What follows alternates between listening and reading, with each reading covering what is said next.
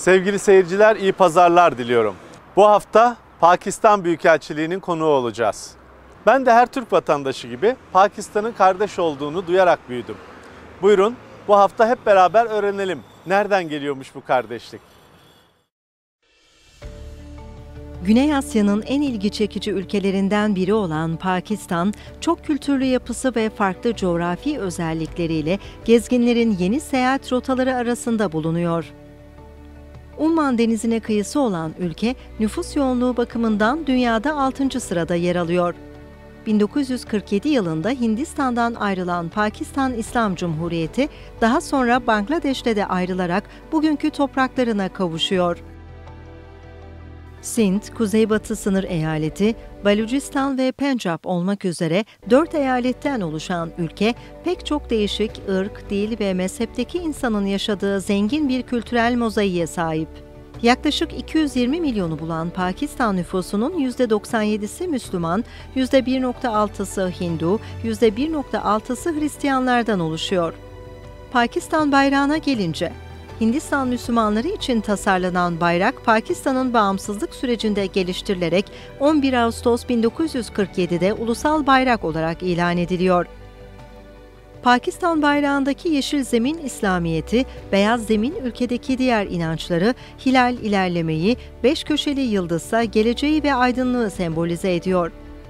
Devletin ulusal dili Urduca ancak resmi dili İngilizcedir. Pakistan'ın her bölgesinin kendi başkenti olsa da ülkenin resmi başkenti İslamabad'dır. İslamabad ülkenin en modern ve düzenli şehridir. Pakistan'ın ulusal para birimi Pakistan rupisidir. Ekonomiye gelince, büyük ölçüde tarıma dayanır. Halkın yarıdan fazlası tarımla uğraşır. Ekili alanların yaklaşık %50'si pirinç ve buğdaydır. Bunlardan başka yetişen diğer tarım ürünleri arpa, mısır, darı, pamuk lifi ve pamuktur. Pakistan'ın en çok gelir getiren kıymetli ürünü jüttür. Çay, tütün, şeker kamışı, meyve ve sebzede yetiştirilmektedir. Tarım ürünlerinin memleket ekonomisine olan katkısı %30 dolaylarındadır. Pakistan iklimi ise umumiyetle sıcak ve kuraktır.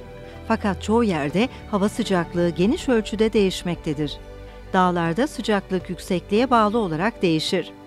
Dolayısıyla bütün Pakistan'da bölgeler kutup iklimi veya aşırı sıcak iklim arasında değişebilen bir iklime sahiptir diyebiliriz. Sayın Büyükelçim, iyi pazarlar diliyorum. Davetimizi kabul ettiğiniz için çok çok teşekkür ediyorum. Biraz önce programın açılışında esasında ilk soruyu da seyircilerimizle paylaştım ben. Müsaade ederseniz o soruyla başlamak istiyorum. Ben de her Türk vatandaşı gibi Pakistan'ın kardeş ülke olduğunu duyarak, bilerek büyüdüm. Nereden geliyor bu kardeşlik? Sizde de böyle midir? Sizde de insanlar böyle mi hisseder? Bize anlatır mısınız lütfen? Tabii ki. Bu bizim için bir onur. Öncelikle Pakistan Büyükelçiliğine hoş geldiniz. Bizi ziyaret eden Türk kardeşlerime de her zaman söylediğim gibi burası sizin de büyükelçiliğiniz. Pakistan'ı ne kadar temsil ediyorsak, Türkiye'yi de aynı derecede temsil ediyoruz. O halde ben hem Pakistan hem de Türk büyükelçisiyim ve İslamabad'daki meslektaşım da tamamen aynısını söyleyebilir. Sorduğunuz soru konuyla çok yakından alakalı ama benim çok dürüstçe düşünmemi sağlıyor. Hayatta bazı gerçekler vardır ki Birisi bunları size söylemeden bilemezsiniz. Bence Pakistanlıların kalplerindeki ve zihinlerindeki Türkiye sevgisi içgüdüseldir. Öğrenilmiş bir şey değildir. Hiç kimse bana Türkiye'nin ve Türklerin dostu olmayı ve sevmeyi öğretmedi. Bence biz bununla doğuyoruz. Eminim ki sizin için de bu böyledir. Hiç kimse size çeşitli sebeplerle sevmeniz veya ilgi duymanız gereken Pakistan diye bir ülke olduğunu öğretmemiştir. Ama hazır bunu söylemişken birbirimize karşı duyduğumuz bu içgüdüsel sevgi ve ilginin çok sağlam bir temeli vardır. Bizim dilimiz olan Urduca ki Urdu aslında Türkçe bir kelimedir, askeri garnizon anlamına gelmektedir ve Güney Asya'daki Müslüman orduların dilidir. Urduca ve Türkçe ortak dillerdir. Türkçe ile ortak her gün kullandığımız 6 ila 7 bin kelime vardır. Sonra tarihi bağlarımız da vardır. Bizim nüfusumuzun büyük bir kısmı soylarını Orta Asya'nın Türk kökenli halklarına dayandırır. Benim annem Türk kökenli bir Mugal'dir. Sonra din vardır. Aynı zamanda paylaştığımız kültürel bir miras vardır. Buradan 200 kilometre ötede Mevlana Rumi gibi büyük bir bağlantımız vardır. Kendisi Pakistan'daki milyonlarca Müslümanın akıl hocası ve lideridir. Birçok Doğu inanç sistemi ve öğretisi onun sistemine dayanır. Ulusal şairimiz İkbal de neredeyse bir Türk ulusal şairi gibidir. İkbal, Mevlana Rumi'nin ruhani öğrencisiydi. Sonuçta saydığım bu kadar çok bağlantı bu sevgiyi doğrular. Bunların daha da üzerinde iki ülkemizin birbirlerine karşı duydukları şey derinden gelen içgüdüsel bir bağlılıktır. Ve şunu söylemeyi severiz ki, biz iki ülke tek milletizdir. Bunlardan daha fazlasını da eklemek istersek, dil, kültür ve din bunların hepsi tarihten gelmedir. Aynı zamanda günümüzde de buna benzer bağlantılar vardır. Bunlar benzer özellikleri olan kardeşler olmamız gerektiğine hükmeder. Türk Bağımsızlık Savaşı ve Mustafa Kemal Atatürk'ün liderliği, bunlar Güney Asya'da bize ilham kaynağı oldu.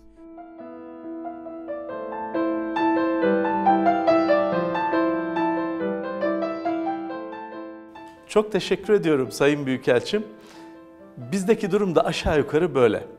Hakikaten ben de ne zaman kaç yaşımdaydım da Pakistan'ın bizim kardeşimiz olduğunu, Pakistanlıların da bizim kardeşimiz olduğunu öğrendim hatırlamıyorum. Adeta doğuyoruz ve Pakistan kardeşliğiyle büyümeye başlıyoruz ve bugünlere geliyoruz. Ne mutlu bize, ne mutlu size.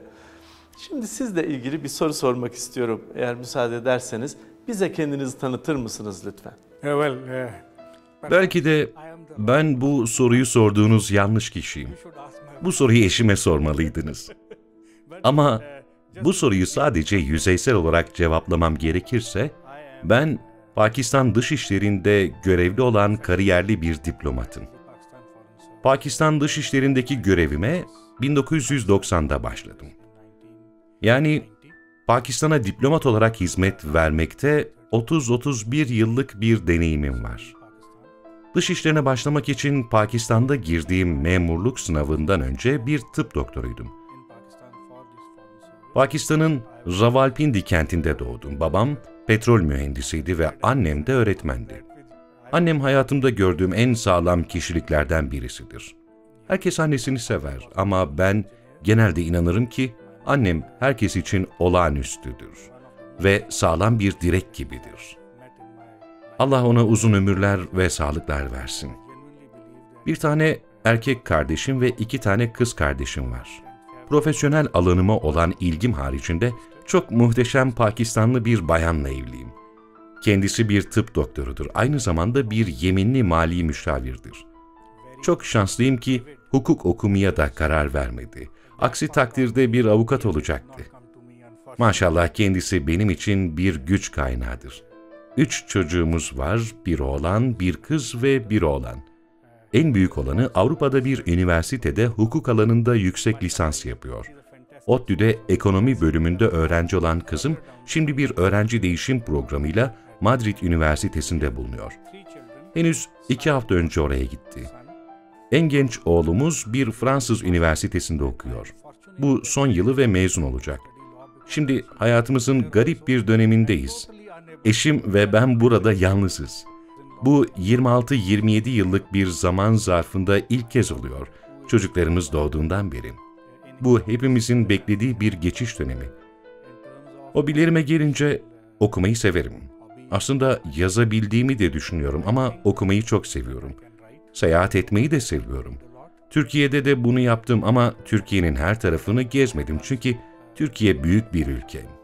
Yeni yerleri keşfetmeyi seviyoruz ve eşim de bu hobimi benimle paylaşıyor. Çok teşekkür ediyorum verdiğiniz bilgiler için. Böylelikle sizi biraz daha yakından tanıdık. Şimdi Biraz önce de bahsettiğimiz gibi kadim bir dost ve kardeş ülke olarak biliyoruz biz e, Pakistan'ı. Pakistan hem dindaşımız hem çok yakın tarihsel bağlarımız olan hatta sizin de ifade ettiğiniz gibi ırk açısından bile Pakistan'da birçok e, Türk kökenli insan olduğunu da öğrendik. Bize Pakistan halkının yaşantısıyla Türk halkının yaşantısı arasındaki Türkiye'deki yaşamla ilgili bağıntıyı anlatabilir misiniz? Ortak yönlerimiz nelerdir? There is, uh, there is a Aslında birçok yönden madalyonun iki yüzüyle karşı karşıyayız. Ama tabii ki biz dünyanın farklı coğrafi bölgelerinde bulunuyoruz. İnsanların bulundukları coğrafya birçok bakımdan onların yaşamlarına, günlük alışkanlıklarına ve değerlerine etki ediyor. Aynı zamanda biz Türkiye'den coğrafi olarak çok daha çeşitli bir bölgede yaşıyoruz. Türkiye maşallah birçok bakımdan bizim ülkemiz gibi dağları, platoları, vadileri var. Pakistan'da biz coğrafi olarak çok daha fazla çeşitliyiz. Bir şeyden dolayı ki Türkiye dünya üzerinde daha yatay olarak konumlanmış ama biz dikey olarak konumluyuz ve bunun da kendine has bir güzelliği var. Buna bir örnek vermek gerekirse, bizim en sıcak ayımız olan Haziran'da bizim alçak yerlerimiz ve ovalarımız bazen 50 derece olur. Ama aynı zamanda dağlarımız 0 dereceden daha az olur. İnsanlar her iki bölgede de yaşamaktadır ve bizim coğrafyamız çeşitlidir. Ama aynı zamanda bazı benzerlikler de vardır mesela dil gibi. Pakistan'a gittiğinizde yani bana söylendiği gibi Türk dostlarımız Pakistan'ı ziyaret ettiğinde Pakistanlılar kendi aralarında Urduca konuşurken bazı kelimeleri anlayabilmişler. Tıpkı benim burada yaptığım gibi. Peki Sayın Büyükelçi, Türkiye'ye Büyükelçi olarak atandığınızı duyduğunuzda neler hissettiniz? Türkiye'yi nasıl tahayyül etmiştiniz? Nasıl buldunuz? life is a very difficult thing. Hayat çok zor bir şeydir. Genellikle elde ettiğiniz şeyleri hiçbir zaman size daha önce tanıtıldığı gibi almazsınız. Bir şeyi online olarak sipariş edersiniz, eve geldiğinizde bambaşka bir şey çıkar. Hayatta çok nadiren size daha önce reklamı yapılandan daha iyi bir şeyle karşılaşırsınız. Ve ben de şunu çok kesin bir şekilde ve zevkle söylemek isterim ki, bu tamamen Türkiye'yi ifade etmektedir. Hemen arkanıza bakarsanız, Türkiye'de hizmet vermiş olan bütün büyükelçilerimizin fotoğraflarını görebilirsiniz. Maşallah, hepsi bizim diplomatlık hizmetlerimizde birer dev gibidir. Çoğu aslında hayatta değil ama atları halen Pakistan Dışişleri Bakanlığı'nın koridorlarında ve Pakistan'ın diplomatik geçmişinin sayfalarında yankılanmaktadır. Yüce Allah'a ve sistemimize gerçekten şükran borçluyum. Bende bir şey gördükleri için. Çünkü benim fotoğrafım da bir gün diğerlerinin arasında yerini alacak. Çok samimi biçimde bunu hak edip etmediğimi düşünüyorum. Ama Pakistan'ı Türkiye'de temsil etmek gerçekten çok büyük bir onur.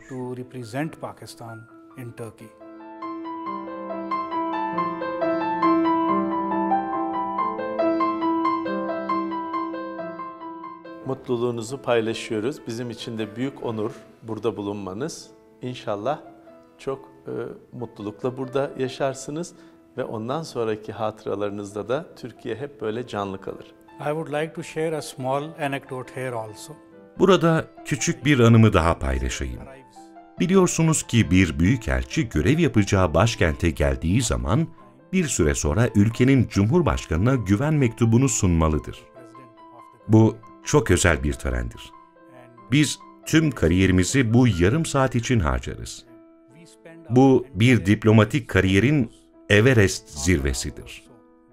Eşim ve çocuklarım buraya 2017 Eylül'ünde vardılar. Türkiye Cumhurbaşkanı sadece bir hafta içerisinde güven mektubumu sunmam için beni kabul ettiler. Bu çok nadir bir durumdur. Ama esas nadir olan bu değildi. Belki de şu anda dünyadaki hiçbir diplomat size anlatacağım hikayenin benzerini anlatamaz. Güven mektubumu 11 Eylül 2017'de sundum. Bu aynı zamanda benim doğum günümdür. Türk Cumhurbaşkanı'na güven mektubumu sundum. Kendisi güven mektubunu verdikten sonra büyükelçileri 15-20 dakika için nazikçe yanına davet eder.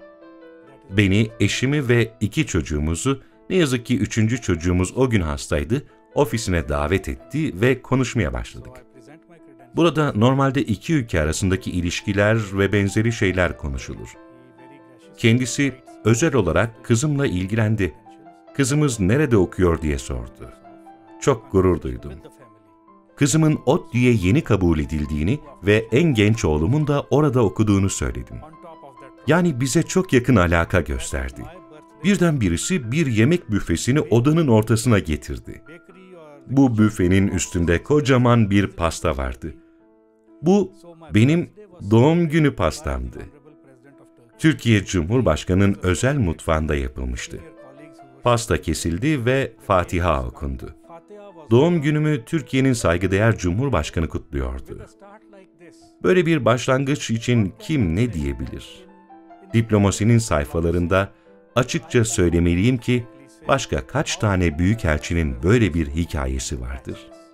What more can I say? Very frankly. Hakikaten insan daha ne isteyebilir bilemiyorum. Sayın Büyükelçi, dünyada 100 yılda bir görünen cinsten her yeri kasıp kavuran bir pandemi sürecini yaşıyoruz. Bu süreci bize değerlendirir misiniz? Mesleğiniz açısından, yaşantınız açısından ve hatta bundan sonrası nasıl olur dünyada? Bize bu konuyu bir değerlendirebilir misiniz? Uh, Burada bir şey çok açık. Kimseye söylemeye gerek yok. Pandemi nasıl yaşamamız gerektiğini kökünden değiştirdi. Şu son bir yıl gösterdi ki, hayatlarımız şu anda karşı karşıya olduğumuz durumda çok ciddi şekilde kesintiye uğrayabiliyor. İnanıyorum ki pandeminin etkileri kalıcı olacak. Ben eskiden tıp doktoruydum. Hala hatırlayabildiğim sınırlı bilgilere göre bir süre daha bizimle kalacak. Tabii ki aşılar hakkında haberler çok iyi. Maşallah Türkiye de bu bakımdan çok iyi şeyler yapıyor. Ama şu andan itibaren pandemi insanların yaşamına bir biçimde kalıcı olarak eşlik edecek. Tabii ki yaşam değişti. Ekonomi etkilendi. İnsanların yaşamı etkilendi. Birçok şey var ki şükrediyoruz. Ancak şimdi ne kadar değerli olduklarını fark ettik. Mesela sadece evden çıkabilme serbestliğimiz gibi, el sıkışabilmek gibi. Maşallah Türkiye bu dönemde mükemmel işler yaptı. Türkiye 150'den fazla ülkeye yardım etti. Benzer şekilde Pakistan da yapabildiği dereceye kadar diğer ülkelere yardım etti. Benim ve hükümetimizin görüşüne göre ki Başbakanımız İmran Han bu konuda çok şeyler söyledi. Bu pandemide ne kadar başkalarını da düşünürseniz o kadar fazla kendinizi korumuş olursunuz. O zaman herkesin bilimin ve aşıların faydasını gördüğünden emin olmamız gerek. Tabii. Zaten başkaları için neler düşünürseniz ya da başkaları için neler yaparsanız bunun size bereket getireceği, iyilik getireceği de inancımız gereği öte yandan. Büyük sorumluluk gerektiren ve fedakarlıklarla gerçekleştirilen bir mesleğiniz var. Bu e, mesleğiniz ailenizle olan ilişkilerinize nasıl e, yansıyor? Bir de gençlere diplomat olmalarını tavsiye eder misiniz? Uh, well, life is unfair. Aslında yaşam çok adaletsiz. Özellikle de bir diplomatın ki. Yine özellikle bir diplomatın ailesinin hayatı. Bu işin zevki, ayrıcalığı ve şöhreti diplomatın kendisine ait. Ama aslında kimsenin göremediği zor işler diplomatın ailesine düşüyor. Derler ki, her başarılı büyük kişinin arkasında bir kadın vardır. Bu, diplomaside özellikle doğru bir şey. İşini seven ve iyi yapan bir diplomat bunu onda dokuz derecede becerir. Çünkü arkasında evinin düzenini sağlayan, çocuklarına bakan ve işini yapmasını sağlayacak zihin açıklığını veren birisi vardır. Bu önemli bir iştir çünkü o milletinin ve ülkesinin çıkarlarını temsil etmekte ve korumaktadır. Bizim mesleğimiz başka bir açıdan da benzersizdir. Çünkü işimizin bir kısmı evde misafirlerimizi ağırlamakla geçer. Belki kendi başıma bu işi yapamayabilirdim çünkü evde işimin bu boyutunu yapmamı sağlayan birisinin olması gereklidir. Çünkü diplomasi aslında ilişkiler kurma sanatıdır. Sadece ilişkiler kurmak da değil. Ama ülkenizin, kültürünüzün şipşak bir görüntüsünü verebilmektir. Bunu yapabilmenin en iyi yolu da onları evinize davet etmektir. Pakistan yemeklerini, kültürünü misafirlerinizle paylaşmaktır. İşte bu benim işim. O halde bu ailem için de zor bir meslektir ama ne yazık ki aileniz bunun için çoğu zaman yeterli derecede övgü alamaz. Uh, and unfortunately, many times the family does not get enough credit for it. Çok teşekkür ediyoruz. Gerçekten diplomasinin çok da dile getirilmeyen bir boyutunun Yes. üzerinde durdunuz. Ee, adalet açısından bunu söylemekte fayda var. Hakikaten diplomasi esasında aileyle beraber Absolutely. yapılan bir meslek. There are actually two ambassadors. Aslında iki büyükelçi var. Daha iyi olan büyükelçi hak ettiğini alamıyor. İlk görevim Cenevre'deydi. 1995 yılıydı. Bir yıl orada oğlumuzla beraberdik. Eşim, oğlum ve ben Cenevre'ye gittik. Cenevre çok yoğun geçen bir görevdi. Gittiğimde orada bir kuruluş vardı. Adı Birleşmiş Milletler İnsan Hakları Komisyonu'ydu. 6 hafta sürdü. Çok yoğun bir çalışma vardı. O zamanlar oğlum uyanmadan önce evden çıkıyordum ve uyuduğunda geri geliyordum. 6 hafta hiç hafta sonum yoktu. Çok yoğun bir işti. 6 hafta sonunda oğlum beni görünce ağlamaya başladı. Beni tanımadı. O zamanlar gördüğü tek kişi eşimdi. Şimdi bizim dilimiz Urduca, Türkçe gibi değildir. Kelimeler cinsiyetle tanımlanır. Kadınların ve erkeklerin birbirlerine hitabı farklıdır. Eril ve dişil olarak yapılır. Bu nedenle oğlum hep annesiyle olduğu ve beni hiç görmediği için bütün cümle yapısı dişil olmuştu. Ne yaptığını anlatırken hep o şekilde konuşuyordu. Bu nedenle sonraki 6 ay boyunca eşim gramer olarak erkek gibi konuştu. Bu şekilde oğlumun grameri düzeldi. İşte ailelerin nelerden geçmesi gerektiği üzerine küçük bir örnek. Peki diplomasi mesleği hayaliniz miydi? Doktor olduğunuzu biliyoruz, tıp eğitimi aldığınızı. Hangisiydi hayalinizdeki meslek? İt's Evet, bu bazılarına çok ilginç gelebilir. Ben diplomasiden çok keyif aldım. Pakistan'daki sistemimizde her üniversite mezunu devlet memurluğu sınavına girebilir. Üniversite derecesi ne olursa olsun. Benim derecem tıp üzerineydi. Bir yıl doktorluk yaptım. Tıbbı seviyorum ama babam Pakistan Dışişleri Bakanlığı'na girmemi istedi. Sınav tarihi açıklandığında babam sınava girmek isteyip istemediğimi sordu. Kısmen onun isteğiyle ki aslında çok saygın bir meslek gibi gelmişti. Sınava girdim. Maşallah herkese teşekkür ederim. Allah'a şükür iyi bir derece aldım. 1990 yılında dış işlerine katılmaya hak kazandım. Bundan hiç pişman olmadım. Maşallah sistem bana çok cömert davrandı. Sonunda Pakistan'ın Türkiye Büyükelçisi oldum. Daha ne söyleyebilirim ki? I got to be Pakistan's ambassador in Turkey. What more can I say? Peki göreviniz gereği dünyada birçok yeri gördünüz, birçok şehirde yaşadınız. En çok hoşunuza giden yer neresiydi? I am really fortunate. Uh, yes. Çok şanslıyım evet. İlk tayinim Cenevre'ye çıktı. Orası çok güzel, küçük bir şehir. Çok düzenli bir yer. Eşimle ben inanırız ki belki de burası küçük çocukları yetiştirmek için en ideal yer. Uygarlık bakımından çok düzenli bir yer. Çok barışçıl topraklarda yer alıyor. Öngörülebilir bir yaşantınız var. Bu bir ödüldü çünkü Birleşmiş Milletler'de Pakistan'ın temsilcisi olarak işim çok zordu. Şehrin çok düzenli olması eşime yardım ediyordu. Delhi'de de görev yaptım. Orasının ayrı bir zevki ve zorlukları vardı. Aşırı derecede mimari güzelliği ve azameti bakımından Belki de hiçbirisi Budapeşte'yi geçemez. Orası şahane ve itibarlı bir şehir. Özellikle gece ışıklar yandığında belki de en güzel şehir. Gerçekten çok harika. Bunlar bizim uzun süre yaşadığımız şehirler. Washington çok büyük ve etkileyici bir yer. Profesyonel olarak hepsi birçok bakımdan çok tatmin ediciydi. Çok şanslıyım ki tayinlerimin bu başarılı olandan daha tatmin edici olana doğru gidişi sonunda Ankara'ya tayin oldum. Ankara'nın mesleki tatmin açısından bir benzeri yok. Bizim sistemimizdeki İslamabad'da bulunan Türk meslektaşım da İslamabad için aynısını söyleyecektir.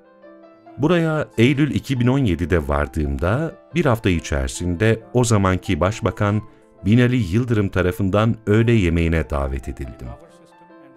Pakistan'dan gelen bir heyet vardı. Diplomasi ve diplomatik işler hakkında bir konuşma başladı. Şunu söylediğimi hatırlıyorum. Dünyadaki en iyi diplomatik meslekler Türkiye'de Pakistan Büyükelçiliği ve Pakistan'da Türk Büyükelçiliğidir. Binali Yıldırım dedi ki, işte işin sırrını çözmüş. And uh, Mr. Yildirim, uh, he said, he has found the secret.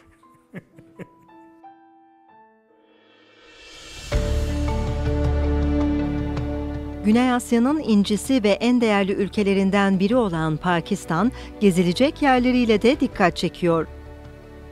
Öncelikle Lahore ve Karachi, kültür turizmi ile ilgilenenleri memnun edecek hemen her şeye sahip. İslamabad'ın da bu iki şehirden aşağı kalır yanı yok. Başkent sıkıcılığından çok uzak, vakit ayırıp gezeni etkileyici hikayeleriyle şaşırtan, canlı, renkli ve sürprizlerle dolu bir durak İslamabad. Gelin kardeş ülke Pakistan'ın mutlaka görülmesi gereken yerlerine bir bakalım. Modern görünümüyle dikkat çeken Faysal Camii, ülkenin önemli simgelerinden biri haline gelmiş. Üstelik şehrin en görkemli yapısında ünlü mimarımız Vedat Dalokay'ın da imzası var. Öte yandan ülkenin farklı bölgelerinde kök salmış halkların yaşamlarından kesitler sunan Luke Virsa, Pakistan Ulusal Etnoloji Müzesi, üzerinde Lahore Kalesi gibi tarihi yapıları barındıran Şalemar bahçeleri, ülkenin en önemli dini yapılarından biri olan Batşahi Camii, Pakistan'ın güneyinde Kaan Vadisi'nde yer alan göl, Sayful Muluk, dinginliğiyle mutluluk veren bir doğa harikası ve aynı zamanda ülkenin en yüksek göllerinden biri.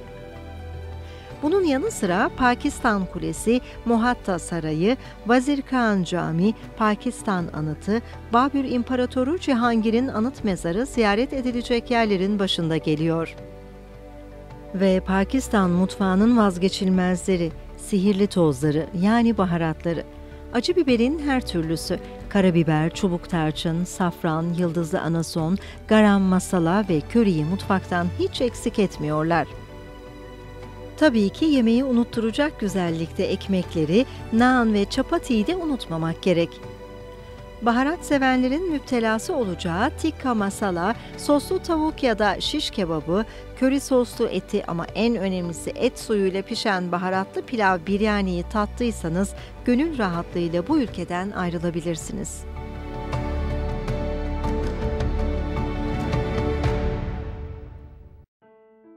Sayın Büyükelçi, Pakistan Güney Asya'nın en önemli ülkelerinden birisi. Türkiye'den Pakistan'a gidecek turistlerin, özellikle de ilk kez gidecek olanların mutlaka görmeleri gereken yerler nereleridir?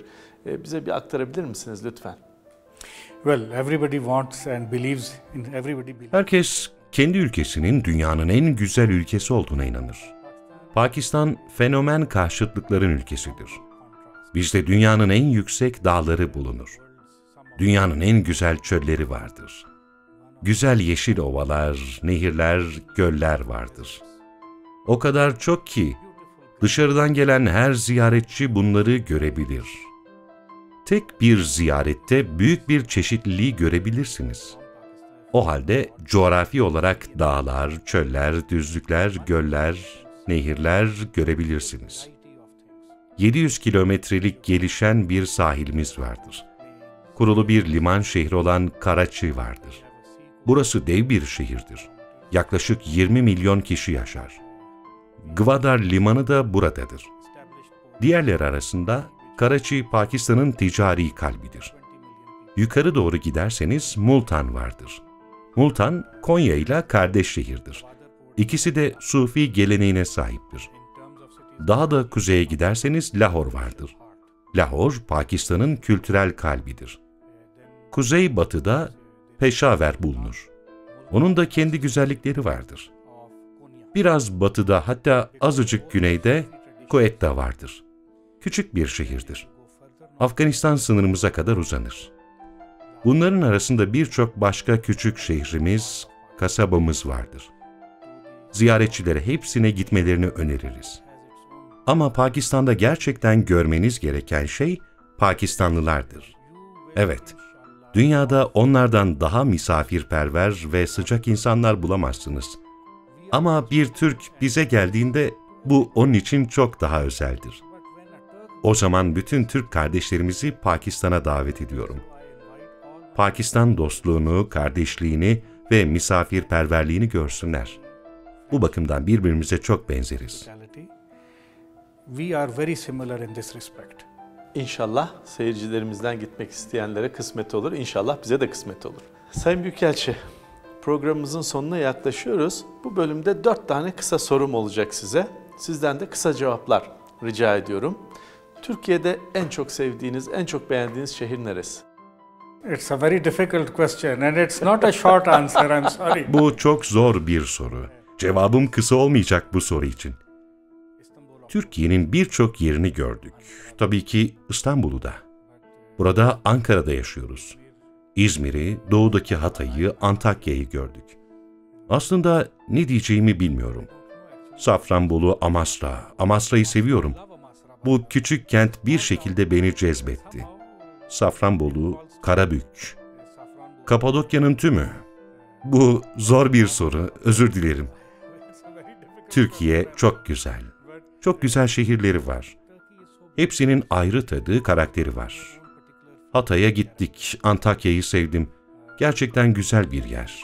İzmir'in kendi atmosferi, karakteri ve tadı var. Safranbolu'daki dağları sevdim. Çok yeşil bir yer. Trabzon'a kadar gittik. Samsun, Ordu, Giresun, ta Trabzon'a kadar.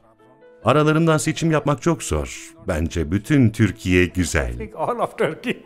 Peki, sağ olun. Sizi en çok etkileyen Türk geleneği hangisiydi? Oh.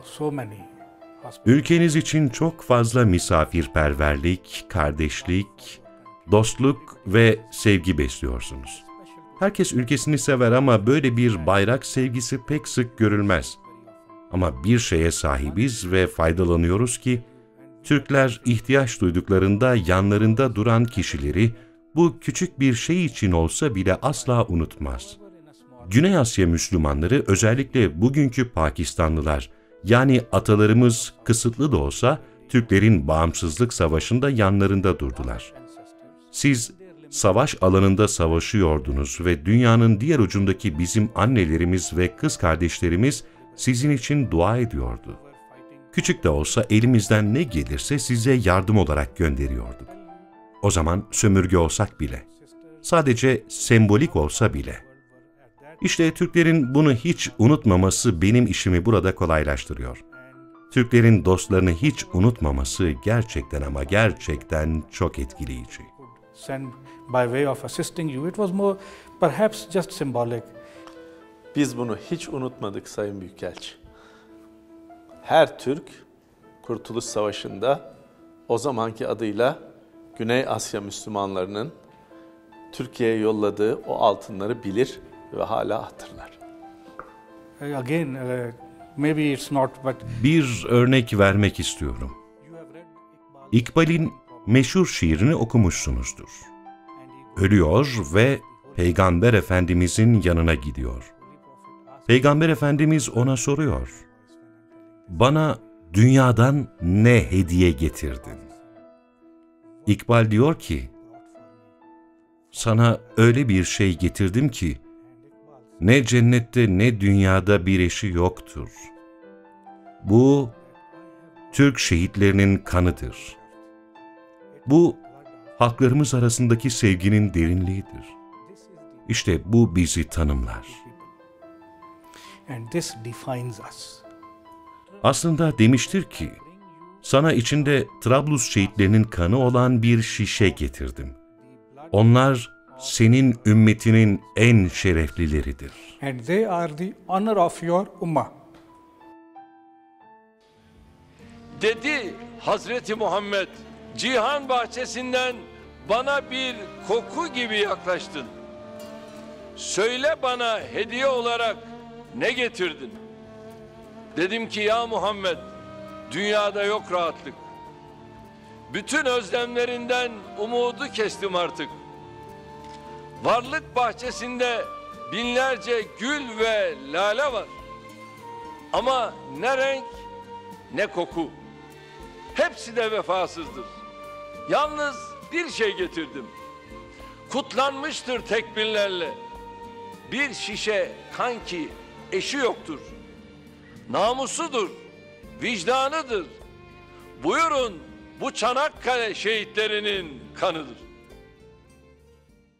Peki Sayın Büyükelçi, en sevdiğiniz Türk yemeği hangisi? I come from a culture of uh, Bu çok basit bir soru değil. Ben bir et yemekleri kültüründen geliyorum. Et sevenler kültüründen birisi olmaktan memnunum. Ülkenizin her yerinde pişen Türk yemekleri çok sevdik.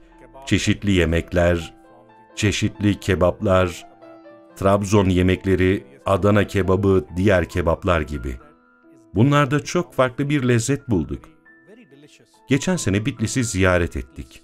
Orada olağanüstü bir et yemeği olan büryan kebap yedik. Çok farklı bir şeydi. Midem bunun için hazır olsaydı beş porsiyon yerdim. Bu çok lezzetli, sıra dışı bir deneyimdi. Afiyet olsun diyoruz. Thank you very much. Ülkemizdeki göreviniz son bulduğunda Türkiye'den en çok neyi özleyeceksiniz? It has been a wonderful. Bu bizim hayatımızın harika bir dönemidir. Çocuklarım, eşim ve ben bu onura erişeceğimizi hiç beklemiyorduk. Ama buna ulaştık. Her gün Pakistan'ı buradaki Türk kardeşlerimizin önünde temsil ettiğimiz için şükrediyoruz. Küçük de olsa onları daha da yakınlaştırmak için en iyisini yapmaya çalışıyoruz. Kültürel olarak bunu zaten başardık. Belki bizim katkımız çok bariz değil. Ama bu bizim hayatımızın mesleki ve kişisel açıdan en tatmin edici dönemlerinden birisi olmuştur. Tabii ki gideceğimiz zaman üzüleceğiz. Ama bu diplomasinin bir parçasıdır. Dünyada benzeri olmayan bu ilişkiye azıcık bir şeyler katabilmiş olmaktan dolayı tatmin olduk. Bu benzeri olmayan bir durumdur. Tabii ki üzüleceğiz. Ama geri gelmeye çalışacağız. Burasını daha da önemlisi insanlarını özleyeceğiz. Burada karşılaştığımız sıcaklığı, misafirperverliği ve dostluğu özleyeceğiz. Burası hep bizimle kalacak. Hiç unutmayacağız. Ama bu bir veda değil. Tekrar tekrar buraya geri geleceğiz. Teşekkürler Sayın Büyükelçi. Son olarak Diyanet TV izleyicilerine neler söylemek istersiniz? I would just like to say that on behalf of Kendi adıma ve Büyükelçiliğimiz, Pakistan hükümeti ve halkı adına Türkiye'ye teşekkür ederim. Pakistan'ın önemli meselelerinde bizimle kardeşlik, dostluk ve dayanışma gösterdiniz. Kriz dönemlerinde yanımızda durdunuz. Pakistan'daki sellerde, depremde, mesela Keşmir meselesinde olduğu gibi. Biz sizi sağlam bir dost olarak görüyoruz. Siz de bizi. Tabii ki maddi çıkarlar dostlukları yönlendirir ama başta da dediğim gibi bizim Türkiye ile dostluğumuz ve kardeşliğimiz içgüdüseldir. Bu böyle devam edecek. Bana bu fırsatı verdiğiniz için teşekkür ederim. Son olarak Türkiye halkı için barış, refah ve güvenlik açısından en iyisini dilediğimi söylemek istiyorum. Pakistan-Türkiye ilişkilerinin, dostluğunun ve kardeşliğinin sonsuza kadar sürmesini diliyoruz. forever. Biz de size çok teşekkür ediyoruz ve yaşasın Pakistan, yaşasın Türkiye diyerek programımızı kapatıyoruz. Eksik olmayın Sayın Büyükelçi. I am really grateful. Thank you. Çok teşekkür ederim. Türkiye-Pakistan ilişkilerinin devletler arasındaki sıradan ilişkilere hiç benzemeyen kendine özgü bir yapısı var. Bundan bir asır önce verdiğimiz kurtuluş mücadelesinde Güney Asya Müslümanları kendi bağımsızlıklarını kazanıyor edasıyla Türk milletinin yanında olduğunu göstererek milletimizin zihinlerinde silinmez bir yer bırakmıştır. Bizi kendi evimizde ağırlayan Pakistan Büyükelçiliğinden ayrılırken ailemizle vedalaşmanın hüznünü taşıyoruz. Gerek Büyükelçinin gerekse ekibinin bizlere göstermiş olduğu konukseverliğe teşekkür ederek yeni bir coğrafyaya uzanmak, yeni kültürlere konuk olmak için buradan ayrılıyoruz.